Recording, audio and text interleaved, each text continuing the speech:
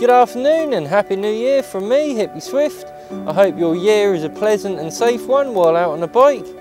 Just a quick update to say I am still creating videos and they are of exceptional quality, so my upload schedule will be about once every three months. Not really, they're still going to be weekly, yay! But anyway, anyhow, can you see the nice big boat in the background? Does it look like I'm holding it from this angle? No, probably don't. Anyway, um, yeah, new videos to come, lots of stuff coming up this year. Pilot episode for Discovery Channel, one thing, lots of new series videos to do with, well, everything bicycle touring, cycling and camping. Uh, till next time, stay safe and I hope you find peace.